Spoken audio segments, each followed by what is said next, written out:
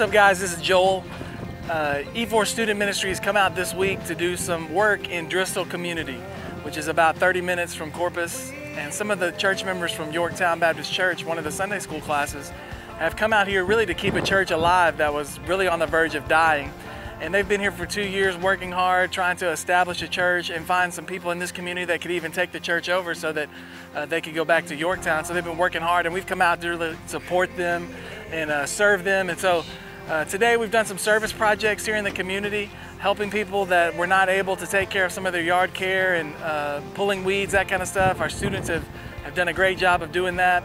Uh, one lady, Miss Hazel, that we served today, her husband has Alzheimer's and uh, she's just not able to keep up with things and keep up with him. And so we were able to, to help her, today and uh, to pray with her for her husband. Um, and so we're also uh, going to have a block party on Wednesday night.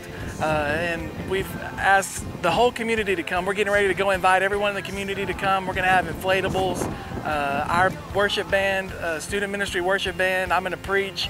Uh, we're going to have some free food.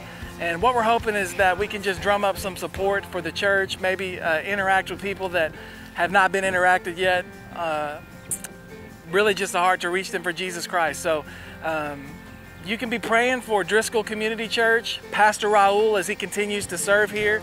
Um, and I know that they, uh, they have lots of needs, but uh, keep them in your prayers and remember that they're a part of our church serving out here in Driscoll.